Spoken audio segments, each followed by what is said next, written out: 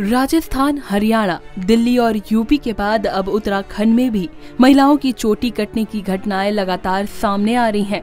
अब देहरादून कैंट थाना क्षेत्र के कोलागढ़ में एक 14 वर्षीय लड़की आरज़ू की उसके घर में ही चोटी काट ली गई और घर में मौजूद किसी भी सदस्य को इस घटना की भनक तक नहीं लगी